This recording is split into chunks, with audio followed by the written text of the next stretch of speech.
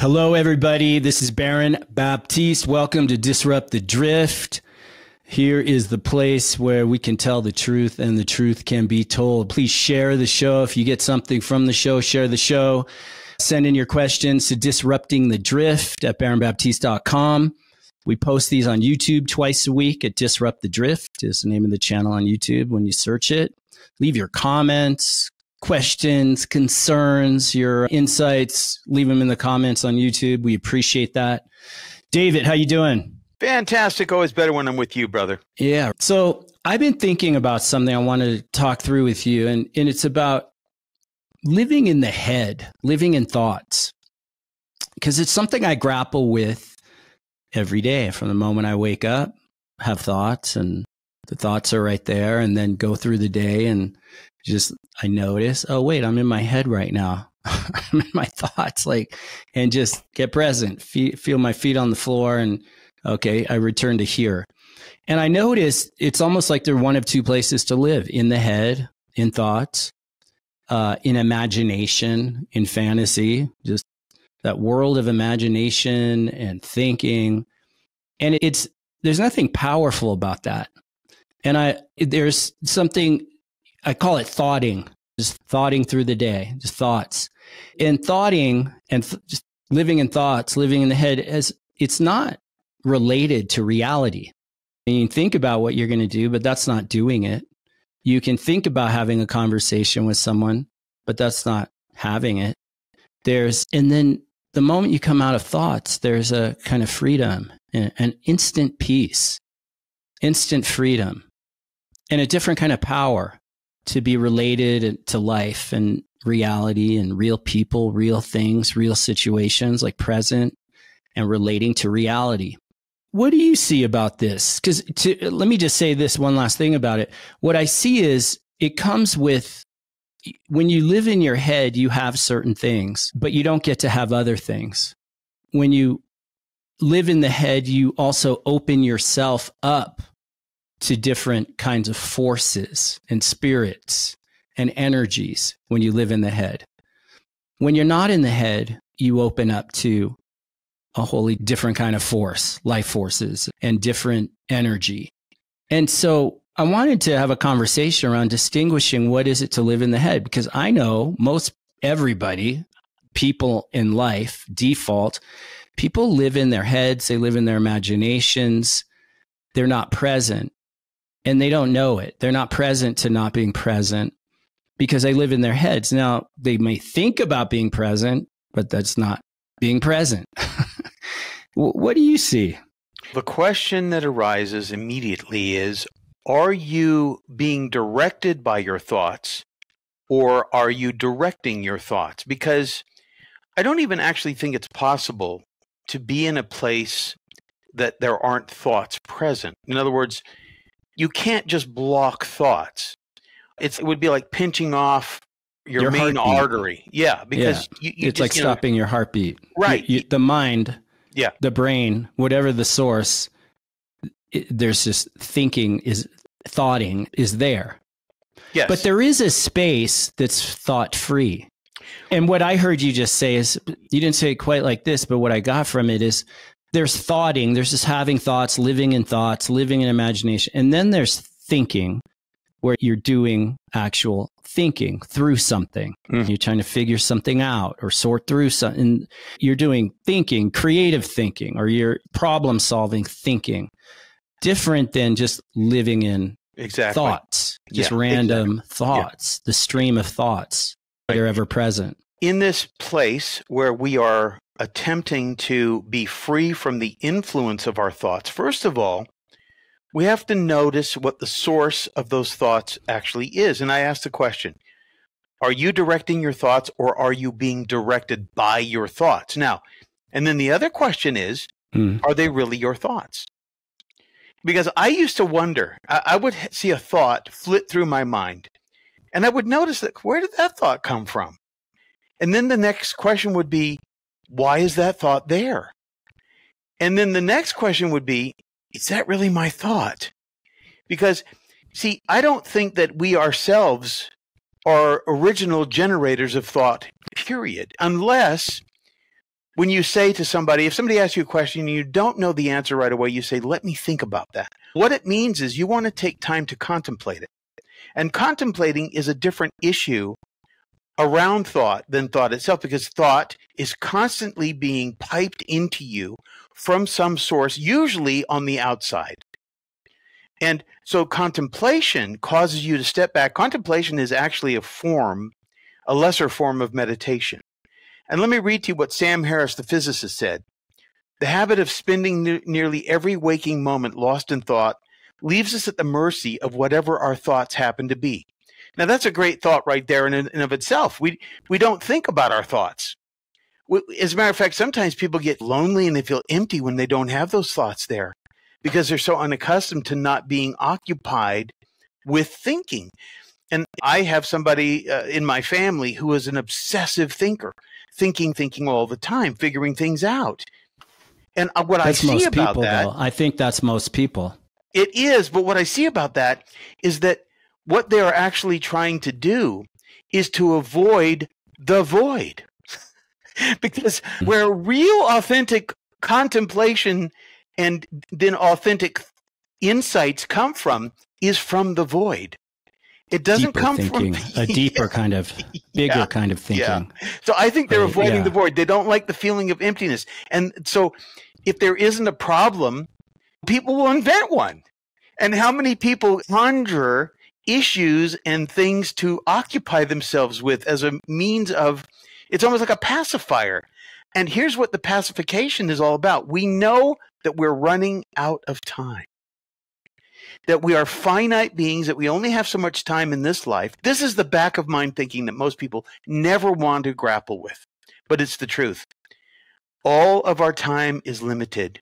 If you could see the number counter above your head, the invisible number counter, the numbers are going down from the time you're born. It's not the amount of time you have that's going up, it's actually diminishing from the time you come into this world. And you don't know how long you have. None you of us don't do. know how long you have. None it. of us do. there's an anxiety attached to this idea that we only have so much time and that what we really have to do is find the meaning of our lives. That's what we're yeah, here it's, for. it's interesting. Yeah, because if you look at people who have this kind of, I call it a life sentence of oh, like a judge, a judge gives you a sentence. yes. And it's a life sentence that you pick up somewhere along the way of you're not enough. You're Yeah. not worthy or you're wor- worthless or you're no good. You know, you have these kind of fundamental core, what are they like points of view or something.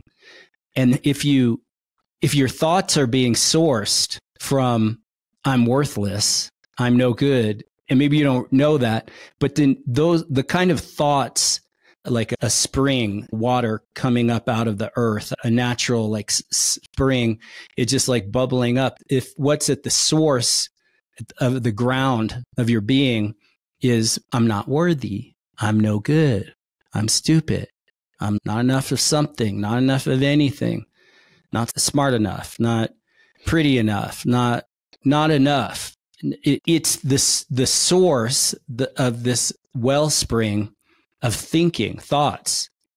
It's i remember one time just years ago but I, I got really present to the voice in my head. I had this thought of i just overate. I ate a, a meal and i just I, I was full but i kept eating kind of thing. And then i ate the whole plate and i was like why did i eat all that? And right there the voice was like because you're a fat pig it was like right there. I'm like where did that come from? It was a voice. But i think we all have that this voice in the background that that is giving a commentary about ourselves about others about everything about life. And that voice in the head is a liar in there. It's a deceiver and it's a voice of doubt. But where does that come from? So it may be in some fundamental point of view we have about ourselves or about life. But then there's also you could hear a hundred people speak and they're all dealing with the same kind of voice in the head and this whole thing the, the same kind of i'm not worthy. I'm not enough. I'm no good. I'm invisible. I'm not seen. I'm like this similar but to me there's some kind of collective there's a collective voice in default humanity Yeah. until you come back to truth until you come back to creator and conscience Mm. that that speaks to us in a language, a common language. It doesn't matter. I've taught all over the world. It doesn't matter if you're if you speak Chinese or you speak Spanish or you speak Korean or Doesn't matter in. Africa, all the different lang- It's a default in all humanity, regardless of language or what language you speak. And there, so there's something in the collective default human beings in a fallen state that we're subject to, but it, it comes through some invisible veil. So I can Yeah. identify what you're saying. And let's just take three components of this. And he, here's what Will Durant said The trouble with most people is that they think with their hopes or fears or wishes rather than with their mind. I hope this doesn't happen. Oh my gosh, what if this happens? Or I really wish this would happen. You see how most people are in default mode all the time in one of those three components hope, fear, or wishing. And Well, and, and I'll add a, a should. I should be this way. They should be that way. Yeah, It- exactly. life Yeah. should be this, or it should not be. Yeah. I shouldn't be this way. They shouldn't be this way. Right. Life shouldn't be that way. but it's then always the question goes to where are these hopes, fears, and wishes produced? Yeah. Where are they coming from? What's Now, the source? Yeah. Part of it is the subconscious, which is what Freud called the id, the subconscious self, the ego. And but and the ego is full of hope, fear, and wishes because the ego itself is insecure. Everybody who has who lives from their ego is insecure. And if you ever notice the squirrels in the park, they're always looking around. They're always watching their back because they live in a world full of other people whose egos potentially are a threat to them Other people or other animals? other people. But I'm using the example of the squirrel in the park. We are always feeling the air. We're always Oh, I got it. sniffing. like pe- people are like the squirrels. yeah, people are like the squirrels and they're for- constantly looking because Yeah. they know that they're vulnerable. That everybody, everybody knows they're vulnerable. And Those got to be primitive, like the reptilian brain kind of goes way back. level, Of yes, back in the days, right? Yeah, we yeah. as human beings we're always we're on survival. It was matter Yeah. is there a saber toothed tiger coming around the block, or the local tribe is going to come and take us out, or it, it was a dangerous world all of the time. We still have that wiring. Yeah. Yeah. And the world is a dangerous place. So we can justify it. But when we're running on automatic like that, rather than dealing with situations as they arise, we're trapped. so the ego then so it goes back to the original question I asked. Are you being directed by your thoughts or are you directing those thoughts? And and again, here you are sitting in front of your TV, you've got 250 channels available to you. And you're scanning those channels. You're moving from one channel to the next. Nope. Nope. Oh, what's that? Most people don't do that with their thoughts, with the thoughts that are there. They aren't even their thoughts. You don't have thoughts thoughts have you. But if you had a channel changer in your hand, that would change the dynamic because then you're in charge of what it is that you're stopping and pausing on or what you're bypassing. You see my point? Most people Yeah. are so unaware that they are constantly being directed by those thoughts, and those thoughts are coming from prompts on the outside. And again, we go back to social media for a moment. What are they called? Oh, yeah, they're called influencers. And so when a person is involved with an influencer, where are they getting their thoughts? Oh, they're getting it from that influencer. And if it isn't from the influencer, who's your group of friends that you hang around with? Those are your influencers. And if you're not getting from them, what about your family? What about your significant other? Where Yeah, are we- these thoughts coming from? And where are the thoughts coming from to them into you? Yeah, we adopt. We Oh, yeah. adopt A lot of adopting. thoughts. We Yeah. adopt stories. Yeah. We adopt viewpoints. And so Jung talked about the collective consciousness, right? Where Freud was talking about the ego in, within the person. And then Jung may have spoken to that too. I don't know. But he also spoke about the collective conscious. There's something that we're subject to in the collective. And if you don't have yourself and you don't know yourself and the realization, a powerful, the powerful realization of I am not my thoughts. I have thoughts, but I'm not my thoughts. When I don't have that, when I don't have that distinction, then what I have is just thoughts.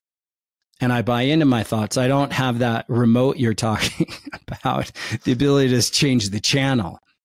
That's where meditation is a powerful tool. You get quiet, you get still, you stop, you drop in, you get present, and you wake, you fall awake. And what something you wake up to is, okay, I have thoughts. I'm not my thoughts. There's something else within me that can watch thoughts. So I must be at least a step closer, whatever it is in me that's able to observe thoughts is probably closer to my essential self. In the same way with emotions, right? You can have emotions and then do they have you or do you have them? You, you can again realize I have emotions. I'm not my emotions. I have them just like I have my hand, but I'm not my hand. I have a hand, but I'm not my hand. There you go. Or my body but I have a body. Uh, can I observe my body? Y- yes. And what's observing is closer to who I am. And case in point, you walk into a dark house, the, the lights are off, and all of a sudden you get this little chill up the back of your neck. You feel like somebody's behind you. And then you run for the light switch and you turn on the light and you realize you're alone. But until the light comes on, you have this creepy suspicion that you, something is there. But the question then goes to is it cause or effect? And so we have to look at our lives in the same way that we might sense that we when we walk into a dark hallway that something isn't doesn't feel right but when we turn on the light reveals to us that it was whatever it was a notion or it was a little bit of fear or it was a suspicion that we had for whatever reason. And then we begin to get to look at why that was there. If we want to, if we don't, okay, there was nothing there. But that's having that switch. You talked about meditation, but really what it boils down to is that when you begin to observe something, you separate from the subjectivity to it. And this, the second you realize that you're reacting to that dark hallway, you know what the answer is. Flip on that switch and turn on the light. What occurs to you is an answer, right? But, it, but let's say you're in a place you've never been before and you don't know where the hallway light is. Do you panic? Do you lose your mind? Do you lose control? Do you give in to the fear? Do you allow it to consume you? Some people do. But well, we do until we don't we do until we don't. Yeah.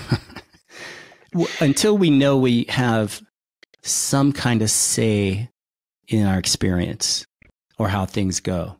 Or better said, maybe is how will I experience? I, I have say in how I will experience what I'm experiencing. So we have in our lives, we have billions of experiences. We have just billion, every moment of every day, we're having experiences. And then some experiences get highlighted. Some experiences stand out if something happens or we're confronted by something or we're threatened by something. Those experiences stand out. And those experiences can stick around if we had enough fear, if we had fearful enough, or ah, we were reactive enough yeah. toward an experience. And then those ones stand out. Those experiences stick out and maybe stick around like in a memory, uh, as a trauma or as a something. And though, is it possible to go through experience, but not have experience go through you, so to speak, where it grabs you, holds you captive? Is there a way to flow from the inside out eh, eh, with experiences you're experiencing the experiences but you're not stopped by them or altered by them or sidetracked or thwarted mm. by them. Wayne yeah. Dyer, who is a beloved. Oh yeah, author. I know Wayne. I used to hang out with him from time to time. I, I used to hang out. Yeah, he passed away a Wayne. few years yeah. ago. Yeah, yeah, yeah. A brilliant writer and a great philosopher. Here's what he says about it: you can either be a hostage to God or a Mm. hostage to your ego. It's your yeah, call. a, a host to what is it's a host A to host God, to God. a host to God, or a to your hostage ego. to your ego. That's Yeah. good. I, I know that quote. Yeah, Yeah. I haven't heard it in years. yeah. I remember I used to quote that one from time to time. But you know what? I wouldn't mind being a It hostage says a lot. God. I wish I could be captured. And you and I were actually talking about Corinthians, 2 Corinthians 10 5. Yeah, earlier the in the Bible that quote is Yeah. very good. Here's what what it it, take all thoughts captive or something? Yeah. It says, We tear down arguments and every presumption set up against the knowledge of God, and we take captive every thought to make it obedient to Christ, which is, again, if you, so again, let's talk about the idea of an overlord. If fear is our overlord, then fear rules us. Yeah. But if we have a, a benevolent overlord, a, a, a, good overlord, someone who cares about us, a being that loves us and, and understands us, then when we bring those thoughts into the light and make it obedient to our overlord, again, we don't have thoughts. But what we do is we take away the power of thoughts to have us by learning how to live in the moment, by being objective, by observing. And I have a, a saying that I've said many times detect it and deflect it. There's power right there. So if, and sometimes I will actually have that moment where I'm in that dark hallway and I'll feel that creepy sense coming over me. But my higher self is able to override that. And I allow myself to feel that fear and then let it pass because I know that there's nothing there. See, there's a power in knowing. There's a great power in knowing that you don't even have to react to something that is not there. If that makes sense. Yeah. Yeah. Awareness. Yes. Right? It's awareness. Yeah. Awareness. Yeah. Cultivating awareness, developing and expanding awareness of when you're uh, living in thoughts. But thoughts are liars. It's important to remember that. And thoughts lie all the time. Was it from the Four Agreements? Don Miguel Ruiz, I think Mm-hmm. in that four agreements he has some something he says about the lie he talks about the liar in the head and the liar in everyone else's head and he talks about don't believe the liar in your head don't believe that liar in your head and because you have a liar in your head you can rest assured i'm paraphrasing but you can rest assured that p- others have a liar in their head so he goes on to say so don't believe anything you say and don't believe anything others say because there, most people are talking from the liar in the head. It's interesting. If you stop believing in the liar in your head, stop believing in That's all it. those thoughts in your head, and stop believing, just being gullible on what everyone else is saying and buying into whatever everyone else is saying because other people lie, just as you lie until you wake up to the truth. And that's a, I say that from almost presenting it as a challenge. What if you were to live by truth, of the truth, from the truth, just even for the next 30 days? What if you were to commit to just living of the truth, from the truth, by the truth? Just tell the truth. Be honest. Really, though, actually, for 30 days, wow, what would happen in your life? And what would happen? What would you start to see? And what would you can trust that people around you would become more obvious to you? And if you start telling the truth, maybe some of the people around you suddenly wouldn't be so happy with you if you were a truth teller. yeah, because people lie all of the time and they don't know it because it's so, become so automatic to just go along and get look good and get approval and say the right things to not ruffle any feathers. You're calculating, you're cunning, you're always assessing and managing pers- people's perceptions. But what if you just told the truth? Well, wow. I don't Actually, think it's as though. easy as you, you might think. It No, reminds me of eh, the, the movie Nothing. Liar with Jim Yeah. Carrey, where he, he can't tell a lie and so he just in all kinds of trouble. Remember that all snagged up. Because he was a jammed up. lawyer and his son made a wish that he couldn't lie That's anymore. right. So, Yeah. like yeah. it's not that his easy. Whole life, his whole world changed. It totally transformed. The world changed. It, yeah, but he had to go through hell first. Yeah, uh, and and so anyway, I'm thinking of Dwayne Johnson. I saw an article today that said he regrets voting uh, for Biden. That's just an aside. So he restored a little bit of respect for him on my part. He says, check your ego at the door. The ego can be the great success inhibitor. It can mm. kill opportunities and it can kill success. Is that The Rock? Yeah, that's Dwayne The Rock that's, Johnson. That's The Rock guy. Yeah. Yeah. yeah. Interesting. Very mm-hmm. interesting. Yeah. Really good. So let's wrap this up. But I say two things come to mind. Meditation is a powerful tool to get present, start awakening, awakening, start awakening, awakening uh, a new kind of awareness moment to moment and very simple. Watch your notice when you're in your head, in your thoughts from the moment you wake up. Notice you indulge and it's not that it's wrong or bad, but it just gets you more of the same. If you're someone who's committed to growing and waking up and discovering who you really are and who you could and can be. Shakespeare said, You know who you are. So you keep indulging thoughts and consuming others' thoughts, and okay, but that gets you more of the same.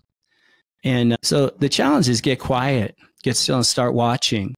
The other thing I'll, I'll say is with something with I got to with yoga practice yoga practice when you go through these series of poses and i would do a same similar kind of sequence of yoga poses physically get on the mat and move and breathe and it, it becomes very monotonous. It's a like routine. But what it where it became not monotonous for me and became a, alive a living kind of way of moving was just the practice of being present. So i'd put my eyes on a point I like physically every breath that would come in, every breath that would go out, my body, I'd be present. Practice became being present with every physical movement, every d- moment of every movement. And, but we could take that off the mat, so to speak, into life because you're always moving. Every movement, like right now you're sitting or right now you're walking, whatever you're doing is a, the, it's a, the potential of a practice of presencing yourself, a physical presencing, a waking up to the present. When you wake up to the present, you have an opportunity to get present to a greater presence, the presence of a, a force, a higher power, your creator. And when we get present to a greater presence, what I notice is I get present to a greater presence within myself, my conscience, my inner knowing. Any last words, David? Detect and deflect because you don't have thoughts, although you do occasionally have amazing thoughts when you can get everybody else's thoughts out of the way, when you can put up a, a sort of retaining wall against the outside world influences. What'll happen is your own sense of things will begin to occur to you in a way that is so strong and so awakening and so liberating. Yeah. But until you are willing to annihilate your relationship with those other influences, you're suffocating your own voice. You're suffocating your own mind with other people's yeah. breath and their thoughts and all their yeah. nonsense. So, yeah, very good. Very good. All right, you all. Thank you. Peace out. Stay bold. Keep disrupting the drift. Keep aiming true. Until next time, peace be with you.